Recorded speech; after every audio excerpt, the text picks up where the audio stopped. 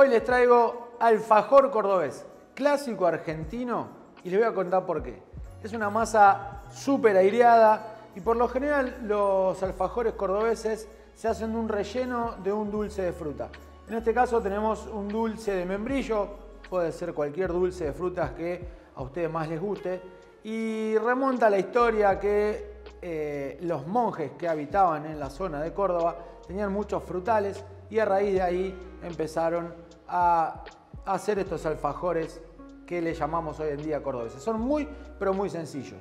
Vamos a necesitar para la receta harina de pastelería, almidón de maíz, yema y huevo, manteca o mantequilla, azúcar granulada, miel, polvo para hornear, esencia de vainilla, yemas como les dije antes, azúcar impalpable y para el relleno dulce o mermelada de membrillo.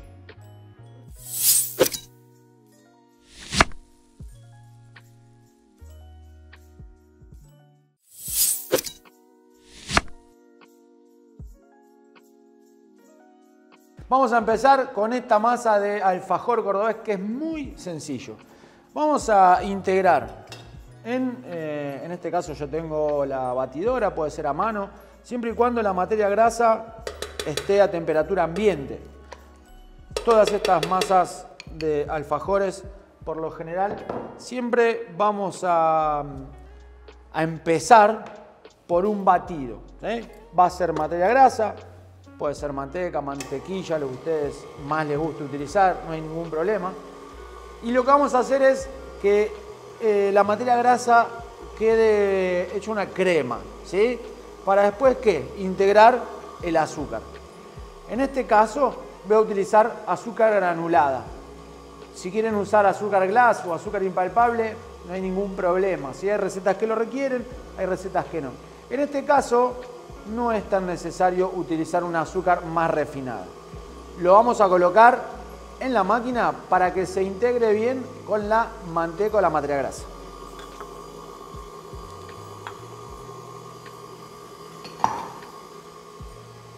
Vamos a subir la velocidad de batido, vamos a dejar que se integre, que se disuelva un poquito el azúcar y después continuamos agregando los demás ingredientes.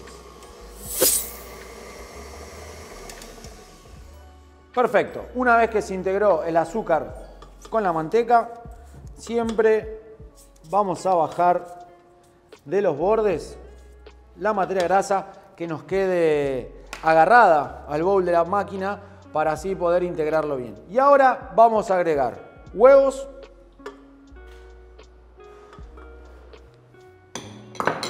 y yemas. Lo vamos a volver a dejar batir hasta que vuelva a incorporarse y que me quede bien una preparación bien untuosa, bien cremosa. Ahí ya se ha mezclado bien, ahora les voy a mostrar. Es una preparación que queda bastante líquida así al principio. El batido de manteca, azúcar, huevos y yema. Y ahora vamos a agregar miel,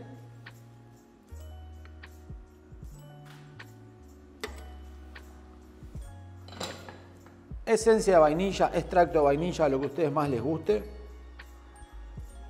a gusto. Y vamos a ir batiendo a baja velocidad para mezclar los ingredientes secos y incorporarlo por último.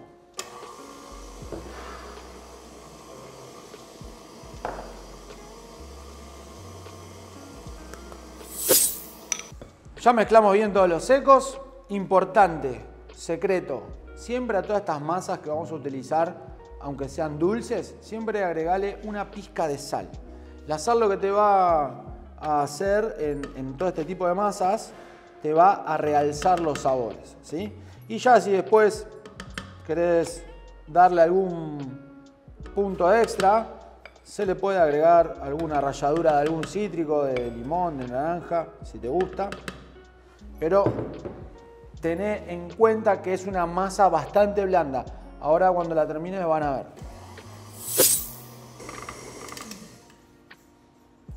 Perfecto. Te voy a mostrar la textura.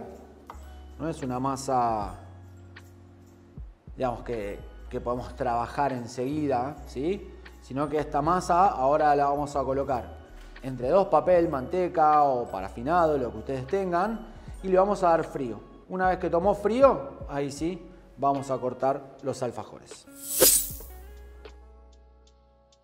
La masa está lista. Ahora, es una masa que la podemos trabajar en el mismo momento, en el día, ¿sí? Pero importante. Fíjense que la masa queda bastante húmeda, ¿sí? Entonces, simplemente lo que vamos a hacer es tener dos papel manteca cortados iguales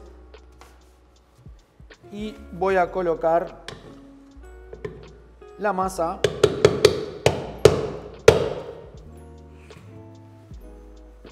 con la ayuda de una espátula. No hace falta colocar harina. Son masas que por lo general, si están bien hechas, no hace falta estar colocando nada de harina extra. Sí es importante darles un rato de frío. ¿Cuánto tiempo? 10, 15, 20 minutos. Mismo si este tipo de masa les gustaría hacerlo para algún evento especial, algún cumpleaños, pueden tenerla así preparada, estirada sobre dos papeles y guardadas en el freezer. Las pueden sacar y utilizar cuando ustedes quieran. Así que de esta manera me la llevo al frío. En 10 minutitos aproximadamente ya tendré una masa lista para cortar y poder cocinar.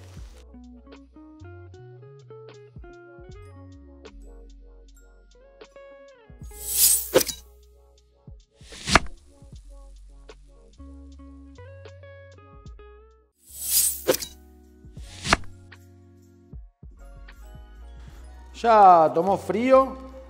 Importante esta masa de alfajor cordobés. Hay que cortarla enseguida. ¿eh? Una vez que se le va el frío, tenemos que volver a llevarlo a la heladera para poder manipularlo. Vamos colocando en la placa, fíjense que es una masa bastante blanda, lo que decía antes, ¿eh? Pero no saben lo rica y húmeda que es. Yo voy a poner uno más y lo voy a llevar a cocinar. Lo voy a cocinar en un horno a 180 grados aproximadamente unos 15 a 20 minutos. Lo importante es que tome color en la base y en el contorno. Una vez que tomó color, los van a retirar y ya van a estar listos para empezar a rellenar.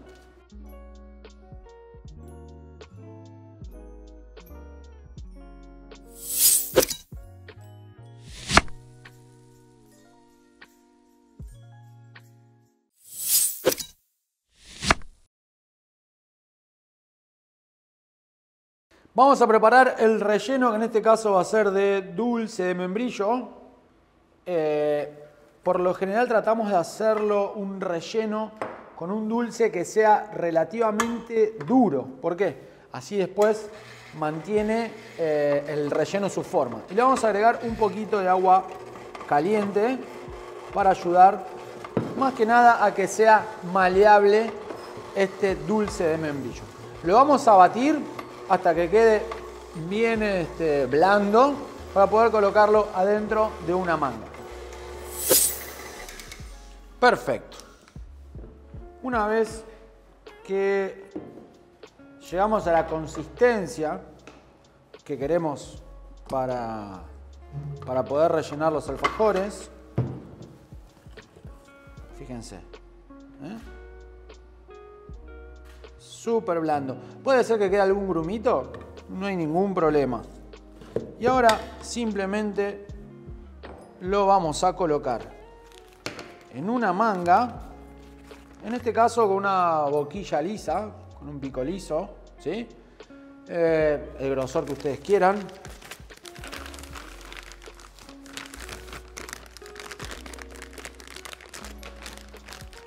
Vamos a un poquito la punta.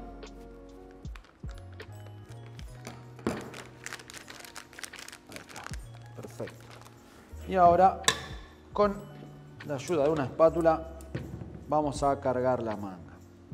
En Argentina, la verdad que este tipo de alfajores son muy clásicos, rellenos de fruta. Yo en este caso, como les decía, utilizo dulce de membrillo, eh, pero ustedes lo pueden rellenar con el dulce que a ustedes más les guste.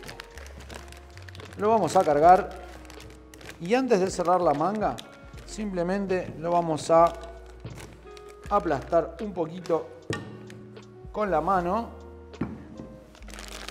para tratar de romper esos últimos grumos que nos quedan. Una vez que ya lo tenemos listo, simplemente voy a traer las tapas que ya las tengo cocida y fría y vamos a empezar a rellenar.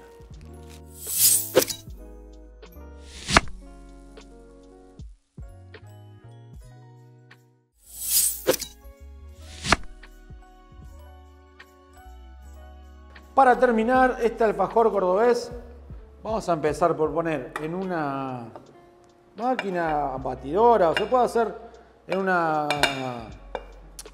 eh, licuadora o mixer, lo que sería el glaseado de la cobertura, que simplemente es azúcar impalpable y agua caliente. Eso es todo. Entonces, mientras esto se va preparando,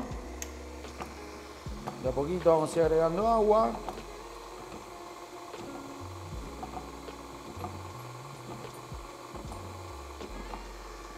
Vamos a ir pegando las tapas ya cocidas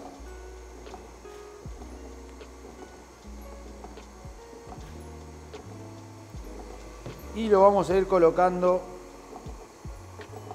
en una rejilla para ahora simplemente glaciarlos. Ya pegamos los alfajores, súper sencillo y ya tenemos la cobertura, baño, glaciado, como ustedes más les guste. Y simplemente ¿eh? con una jarrita o mismo acá con el bowl de la máquina, vamos a ir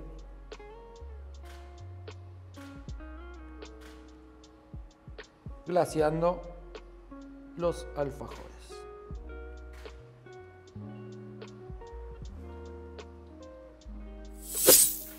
Una vez que los terminamos de bañar o de glaciar, simplemente ahora hay que dejar que el viento sople, que se seque. Y después, una vez que ya están sequitos, que lo podemos tocar y no nos ensuciamos los dedos, ya están listos para degustar. Eh, simplemente el tiempo de oreado va a depender de cada lugar. ¿sí? Un lugar que es muy húmedo va a tardar un poco más, lugares más secos va a secar mucho más rápido. Ahí sí tenemos que tener un poquito de paciencia, simplemente con tocar y que no nos ensucie el dedo, ya quiere decir que están listos. Pero van a ser un mediodía, depende del lugar. Se secó el baño del alfajor cordobés. Fíjense que yo paso mi dedo y no me queda nada manchado. Ese es el punto justo. Así que los vamos a pasar a un plato. Los podemos colocar, vamos a correr la rejilla y vamos a ver cómo está por dentro. Uh, impecable. No puedo resistirme a probar un pedacito.